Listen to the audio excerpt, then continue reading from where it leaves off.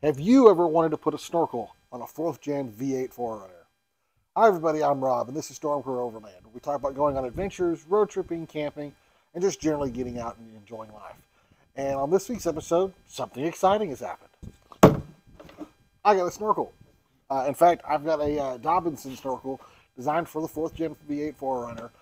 I know a lot of guys that have the 4th gens uh, kind of get the eBay special um, snorkels that fit like the Land Cruiser 80 series or 100 series. Um, but I really wanted to make sure I got the right one. Uh, I'm doing this kind of as insurance for my ride, so I want to make sure I got the, the best one fit right, and all that fun stuff.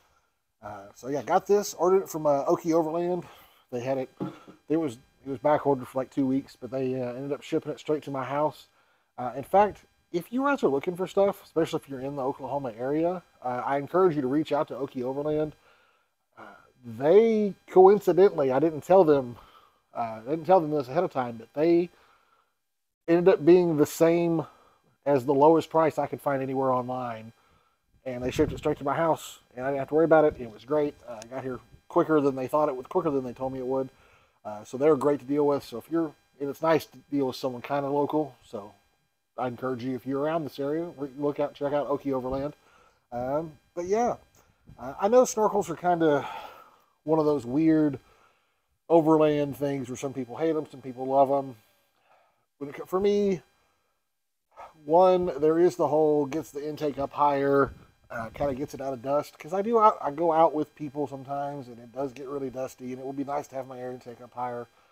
Uh, but I love water and I love splashing through water and puddles. And I've seen more than one rig uh, have a motor just get destroyed by getting water in it, I really don't want that to happen because I really like this thing. Uh, I've already gone and uh, raised up all the breathers, like all the differential and stuff. So I've already done those kind of modifications to get it more prepared to go in water. Uh, and then this is just kind of a final insurance thing, just to make it it's more just peace of mind. So if I'm you know doing a water crossing or splashing through a big puddle or something, I'm not too. Uh, what when I say puddle, I don't mean like a rain puddle on the street. I mean like a giant mud hole that I don't know how deep it is. I'm usually really good about getting out and walking water crossings and stuff like that to see how deep it is, and I'm usually pretty strict about I've got a if, you know certain height that I'm willing to accept, or I guess a certain depth of water I'm willing to accept if I'm going to cross it. Uh, and and that might not change that depth I'm willing to accept may not change a whole lot with the snorkel, but I won't be as worried about it. Like I said, just more peace of mind. And finally, yeah, I'm not gonna lie, I like the way they look. Uh, it just makes it, it's like the, the finishing touch almost on an overland rig. It's one. It, I don't know. It sounds silly, but yeah, rule of cool is a thing. So there is that. Uh, so I'm gonna go ahead and next we're gonna go over. I'm gonna show you all the tools we're gonna be using. Um, it's gonna be slightly different because I'm not exactly following Dobinson's directions. I'm doing things slightly different. And then uh, after that, we'll start actually drilling holes and cutting holes in the fender. And uh, yeah, this is uh, this will be fun. Okay, so these are all the tools that I at least anticipate using. And if I end up using something different uh, in the future, in the video, while we're doing the install, I will uh, definitely make a comment in here somewhere or let you know somehow. So first thing that we're going to have is drill. Makes sense. Next up will be ratcheting wrenches. This one should be self-explanatory. Uh, it's going to be a um, an air saw. We're going to use this instead of a, uh, a big uh, like hole drill. We're going to use this instead to just cut big holes out. Hammer and center punch to help mark our holes where we're going to drill holes for the studs to hold the uh, actual snorkel on. Screwdrivers, flathead and Phillips. Uh, we've got some marine adhesive sealant. We're going to use this to seal up some of the holes in the original air box. A little bit of primer just to go over the, uh, the holes we drill and stuff just to prevent rust. A, uh, a step bit, we're going to use this to enlarge the smaller holes that we drill for the studs to hold the snorkel to the body. And finally, we're going to use some 3M uh, vehicle VHB. It's like it's to hold like trim and stuff on. We're gonna try using this to hold the snorkel to the A pillar instead of actually drilling holes in the A pillar and using um, uh, pop rivets. So we're gonna try this and see how it goes. And if it doesn't work, we'll go back and do pop rivets. So no worries there. And I almost forgot, we're going to use some uh, painter's tape uh, to help hold on this uh, big awesome stencil that comes with the uh, snorkel that you line up on the fender and to know where to drill all the holes and cut your holes and stuff. And then finally, I didn't grab it out of the car yet, but we're going to need a Sharpie to uh, mark some of the places where we're going to be cutting out the big hole for the snorkel. Okay, so step one is we have to remove the inner fender flare liner, which on mine is right here. And you might be able to see that it is, uh, it's a filthy. So pro tip, uh, if you're going to do this, don't go out and play in the mud the day before you're going to do an install like this. Uh, but I'm going to go through and try to find all the little screws, like this one right here, and get this uh, fender flare liner out. And I'll uh, bring you back as soon as I get that out. Okay, so we're ready to. To uh, give myself a little bit more room trying to work in this uh, wheel well, I'm going to be smart. And uh, I'm just going to jack the car up, take the tire off, and give me a lot more room to work in that wheel well area. So I'm going to go do that real quick.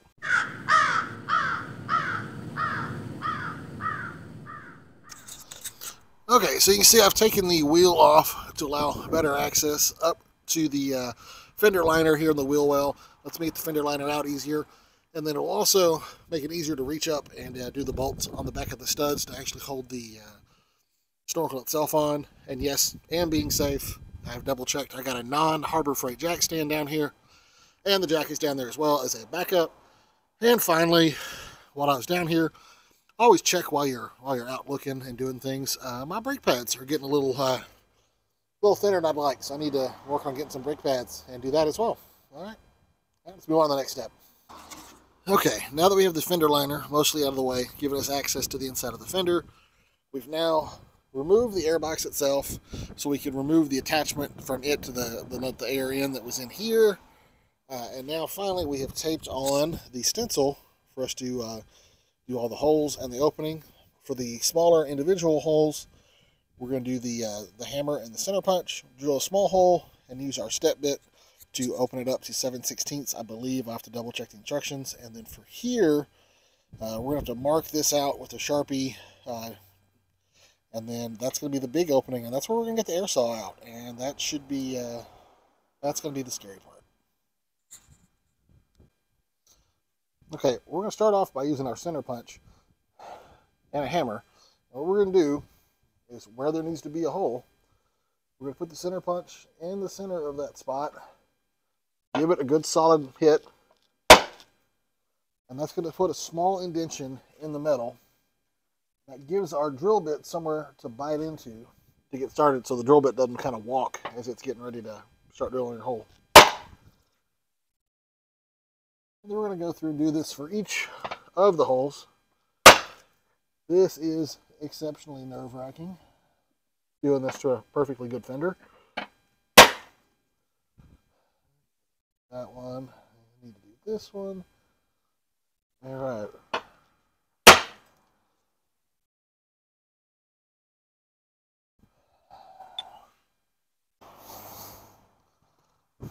Okay, so now for all those places we did with the uh, the center punch, we're going to drill a small hole. Uh, I'm not even sure what size drill bit this is, but it's small.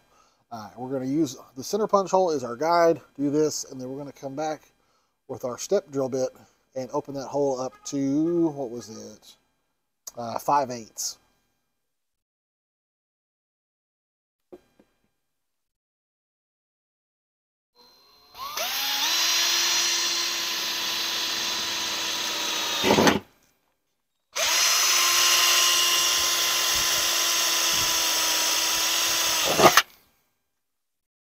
Okay, now we're going to switch out to our step bit and uh, drill those holes a little bit larger.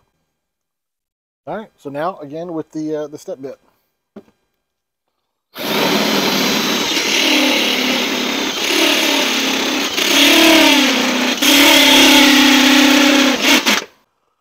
Okay, so I put a little uh, painter's tape so I know how far 5 eighths is, uh, so I don't have to keep stopping and checking it.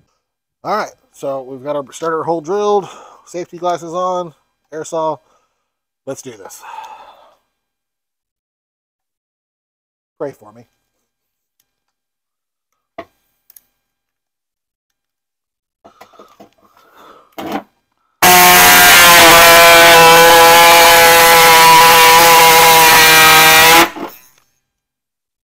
Okay, quick lesson learned. One, this is way louder than I thought, uh, so I'm going to go get ear protection. And two, it cuts really quick. So, uh, yeah, I wasn't prepared for that. It goes quick. So, uh, let me get some ear protection. Let's try again. Okay, let's try this again. Safety glasses, earplugs. Uh, these little Surefire EP3s, I think is what they're called. They're little little divies, but they work really good. Okay. So uh, we're going to try this again now.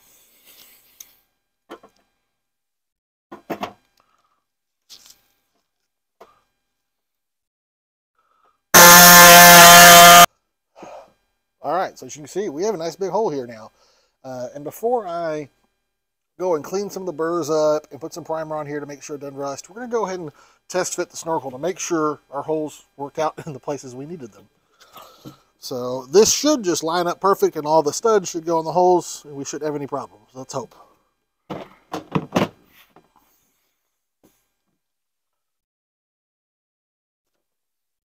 Okay. Looks like it fits perfect.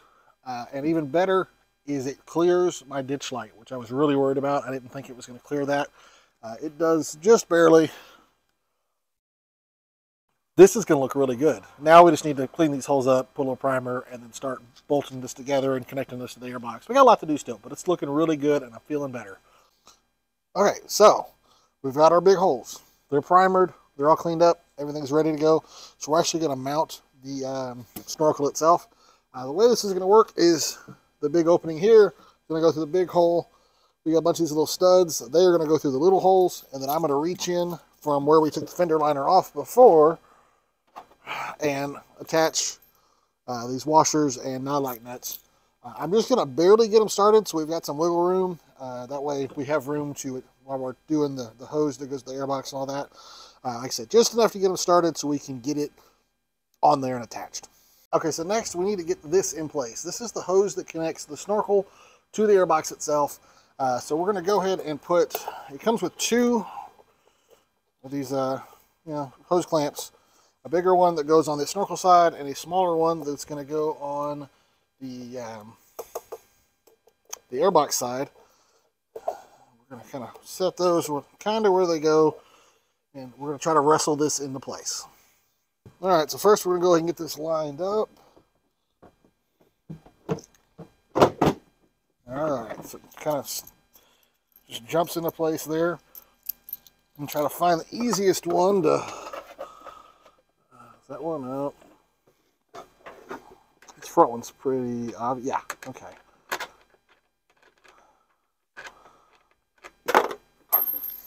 This is going to be tricky. Hang on.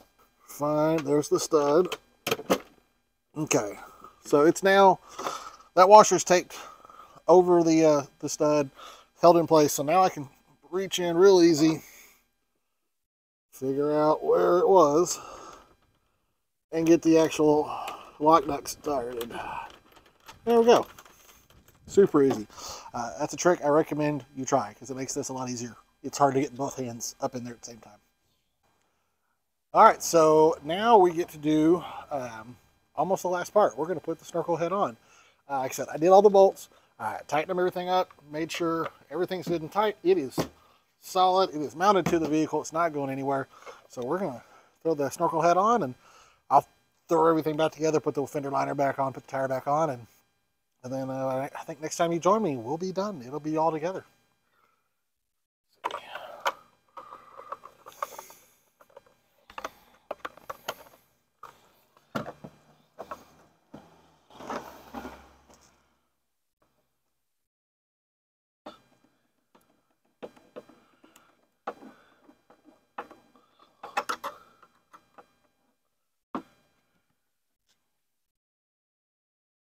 All right, there we go. Now it's a snorkel.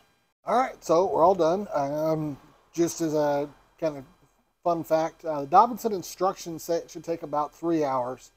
Uh, took me closer to four and a half, but that was me stopping to film, uh, letting the primer dry that I sprayed on some of the holes to prevent rust, stuff like that. So uh, if you were motivated enough, I'm sure you could get it done in three hours. Uh, but hey, I'm very happy. You can get a quick look at it.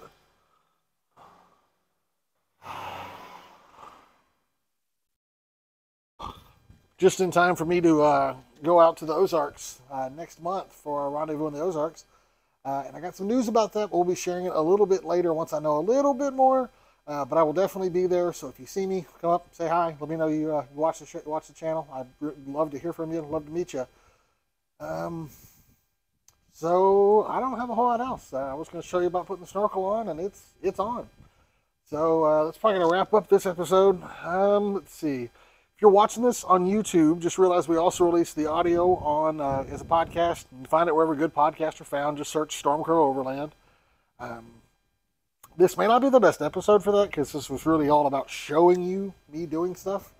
Uh, so maybe this is a good one to watch. But if you are listening to this as a podcast, just realize we also released the video uh, on YouTube. You can find it by searching Stormcrow Overland. Uh, there's links in the description, all that fun stuff. And uh, you can also find us on Instagram at Stormcrow Overland, where I'll be posting pictures of this up as soon as I can go out and take some cool pictures. And then finally, you can shoot me an email at stormcrowoverland at gmail.com if you want. Uh, on any of those platforms, I'd really really appreciate a like, comment, follow, subscribe, message, any of that kind of stuff. Uh, let me know you're watching. Let me know what you think. Send me questions. Uh, I had a guy send me a question last night, and we were talking about uh, 12 volt electrical stuff from, from, fridges and batteries and stuff like that. Uh, yeah, feel free. Or if you uh, if you can't stand what I'm doing, send me a message. Let me know, or anything. I don't know. It's just it's fun to get messages from people, especially people I don't actually know. and I guess sometimes you have to go out and get lost and, and maybe not need a snorkel, but look cool having one uh, before you can find yourself. Thanks for watching.